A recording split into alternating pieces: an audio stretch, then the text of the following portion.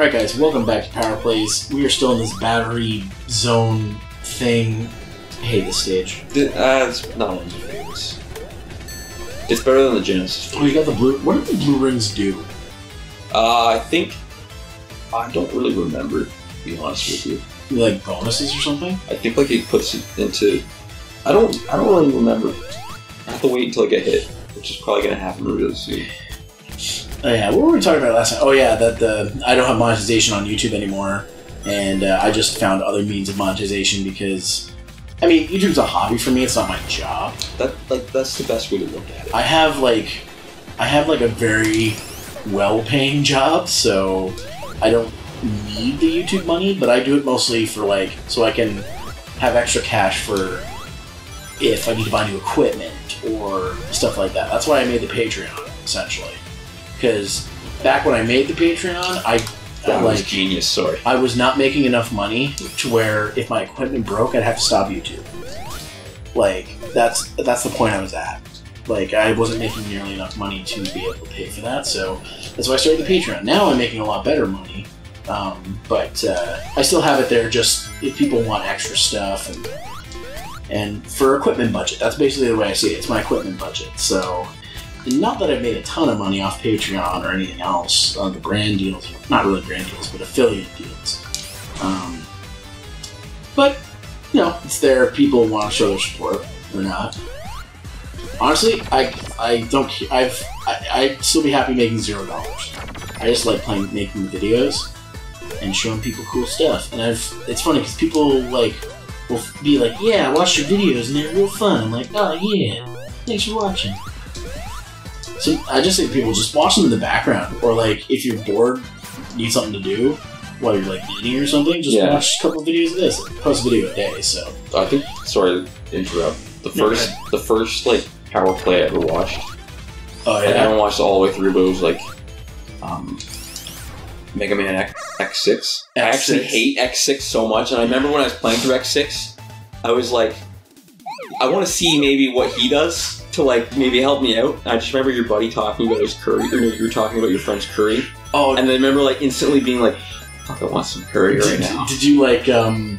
Did you watch that playthrough all the way through? Like, did Nope. you? Hear, oh my god, his I story to- times. No, I didn't. I probably should watch that. Oh man, like the stories he tells. Like he worked at a game store, so he talked about like these stories, like about the crackhead that came in, and he was like who really liked Jane Fonda, and the uh, the the person we titled the Ico hipster, because the guy had like white hair and came into his shop and like scoffed at the fact that he told him to buy the remaster on PS3. He has some funny, and then there's a later story he did during Skyward Sword called Captain McDonald, which is a superhero legend from Ottawa. Yeah. Oh my god, it's great. Uh, that's uh, that's what I like about doing. Like CJ is one of my favorite to record with because he just has full of like dumb stories, and he also makes fun of me the whole time. so he's like, he says, he's it's almost like he says what the comment section is thinking. Yeah. that can't be good. Comment section. It's, it's funny because the most common comment I get, actually, not so much on my Let's Play channel, but because I'm not usually showing myself, um, but my review channel, most common comment I get is, "You're fat," and I'm just like, okay, you don't need glasses, I guess. Yeah. like, Thank you. Very observant. I and I always respond to those because I like I want to see if they're like if they're chumps or not. Um, but now that I said that, people are going to comment on this video saying you're fat. Challenge accepted, man. Challenge accepted. I'm fat. We're all fat.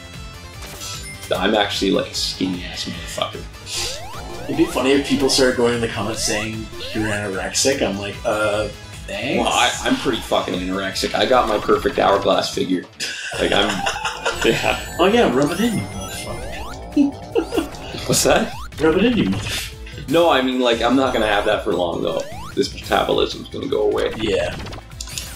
And people like me, who like can eat whatever they want, and you know, we're the ones that are that are like most vulnerable to being obese and Oh, stuff. You know what I like- mean? One thing I learned at being age 30 is that, like, even though I tell myself, my, my body's like, I want this gross, disgusting food because it tastes good. Like, I always have the memories of how, like, what it does afterwards to me. Like, I like my brother and I were talking about on the way here. Ah, we That's love really weird. We love DQ's flamethrower stuff, like their flamethrower wraps and their burger and whatnot. I love it; it's delicious, but I always feel awful after eating it.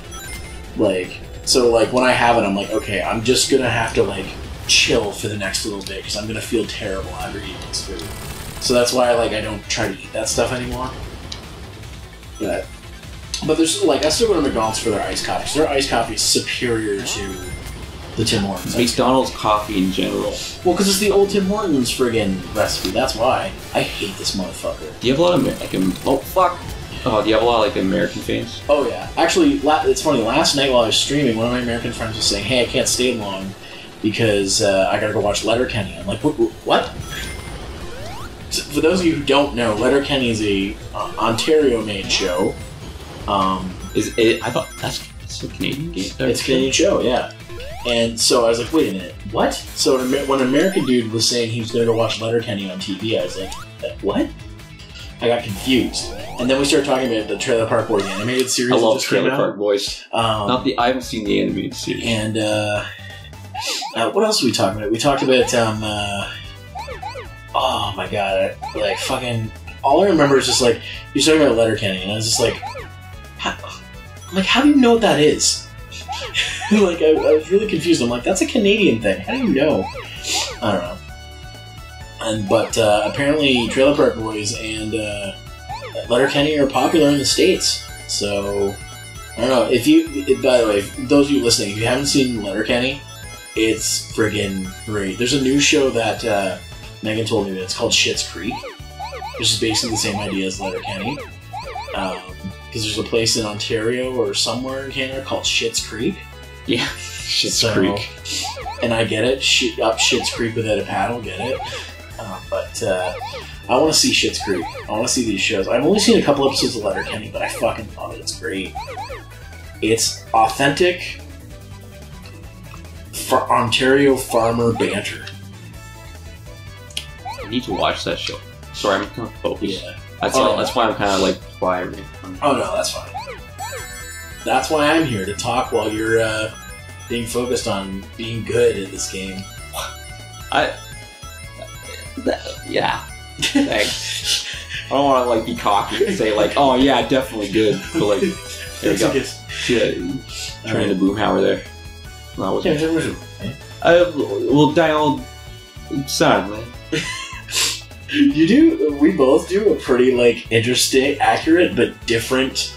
Um, Li- Joe. li- the, like dial hope, like dang. oh yeah, what, what's your favorite Family Guy thing again? You were saying. Oh, uh, what was it when he when um Uh, uh, Peter. he's like, hey, hey Peter, you want to come in and watch uh, Grey's Anatomy with Bonnie and I? I'm not gonna lie, Joe. That just sounds awful. Oh, fuck.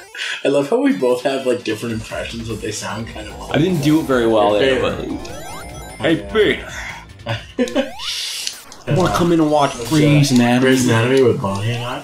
I'm not gonna lie, Joe. That just sounds terrible. this this is a cool boss. Spiders. I hate this boss though. Fighter. Oh, you know who I wanted to be a good guy so badly? What? Um, this would be really obscure. Mega Man Command Mission, Spider. I don't want him to be a bad guy. Oh, this. Oh, spider. Spider. I wanted him to be a good guy. I don't know. It's it's the uh, it's the Six Ranger trope, right? I know what you're Like the the the a person who's on par with the heroes comes in and they start as a bad guy, and eventually they become a good guy. That doesn't happen in every show, right?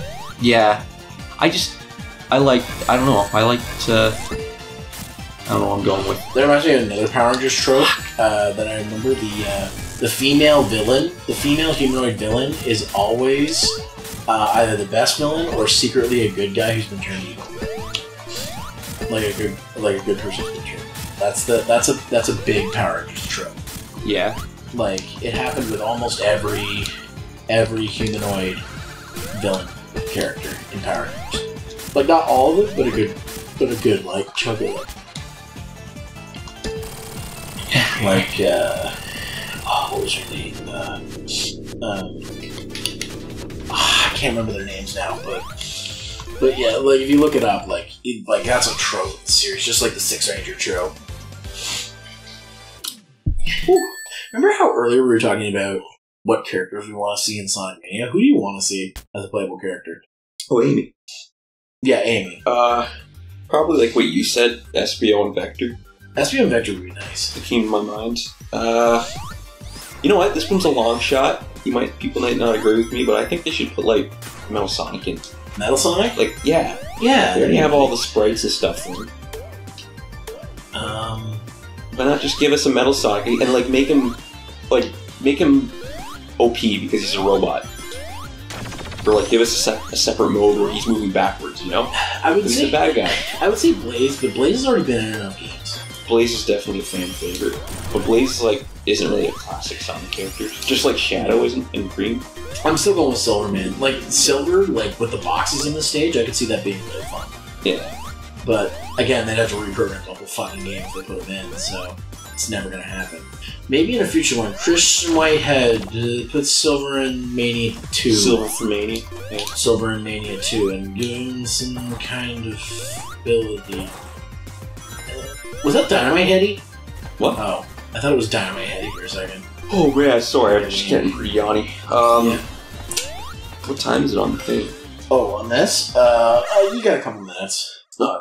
Probably after you do this Blue Sphere mini game. We'll probably go for a few more parts after this and then we'll just we'll, we'll stop for the night. Wait, I just thinking I'm taking a break. Actually, Yeah? I'm like, if you can't tell, I'm starting to die down a bit. Yeah, we'll, we'll what was I say, we'll do two more parts and then we'll be done. That sound good? Yeah, Yeah, that's what we'll do. Like we'll do that. And then that'll be another recording session. Oh shit. How do you fuck? I mean, I meant to say, how do you fucking do this? And it came out as how do you fuck? How do you fuck? In mercenary position for the purpose of. Mission, missionary? uh, for the purpose of. Did I say missionary? You said mercenary. Oh, whatever. Missionary for the sole purpose of recreation. It's my favorite pose. My favorite. uh Is that is that the? I don't know what that's. Uh, is that an American Dad reference? Probably. I have a friend that mentioned that to me, so probably where he got it from.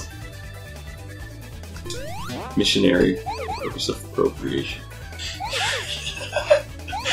That's a terrible title to the video, but it might have to be now. Missionary. Oh fuck. Oh, that worked out the best. Oh yeah. Okay, you got two more rings to get. Where are they?